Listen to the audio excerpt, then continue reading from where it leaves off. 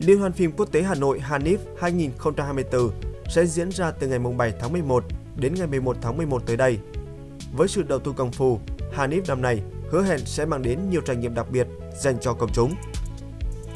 Hanif 2024 có chủ đề Heritage in Motion, điên ảnh, sáng tạo cất cánh, được thể hiện thông qua các chương trình nghệ thuật độc đáo tôn vinh di sản ngàn năm của thủ đô Hà Nội.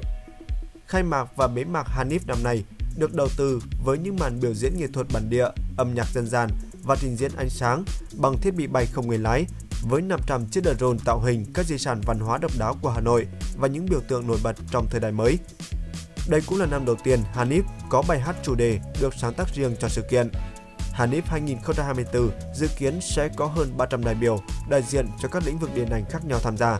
Khoảng 500 tác phẩm điện ảnh đến từ 40 quốc gia và vùng lãnh thổ được giới thiệu tới khán giả thủ đô.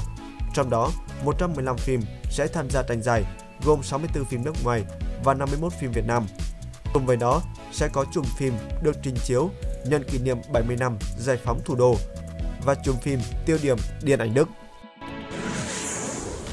Tối ngày 1 tháng 11, một cậu bé 7 tuổi từ Việt Nam đã ghi dấu ấn khi trở thành nam vương nhí nhỏ tuổi nhất thế giới trong cuộc thi Riddle Mr. World năm 2024 diễn ra tại Campuchia.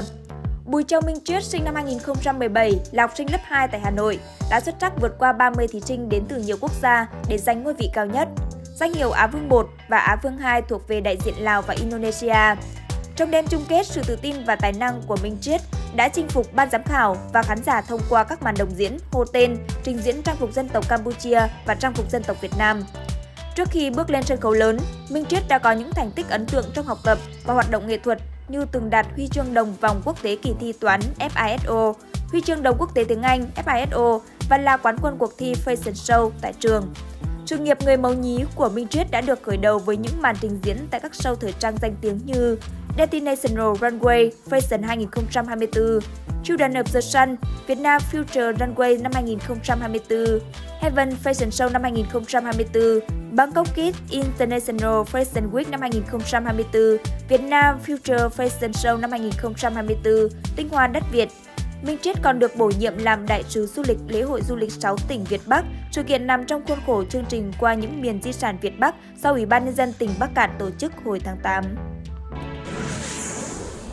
Cao Việt Quỳnh, 16 tuổi vừa ra mắt bộ tiểu thuyết kỳ ảo mang tên Lục Địa Rồng, gồm 5 tập với hàng trăm nhân vật. Trước đó, Quỳnh đã gây ấn tượng khi nhận giải thưởng sách quốc gia Việt Nam năm 2022 khi mới 14 tuổi, trở thành tác giả trẻ tuổi nhất đạt giải này. Bắt đầu viết tiểu thuyết từ năm 9 tuổi, Quỳnh hoàn thành 3 tập Người sao chổi vào năm 12 tuổi. Tác phẩm đã được giới thiệu tại nhiều hội sách quốc tế, bao gồm Hội sách quốc tế Bắc Kinh và Hội sách quốc gia Thái Lan. Sau Người sao chổi, cậu tiếp tục sáng tác Lục Địa Rồng từ năm 13 tuổi và hoàn thiện vào năm 2023. Bộ tiểu thuyết Lục Địa Rồng lần này tiếp tục phát huy lối viết kết hợp giữa yếu tố kỳ ảo và khoa học viễn tưởng, mang không khí hiện đại cùng tinh thần thanh xuân.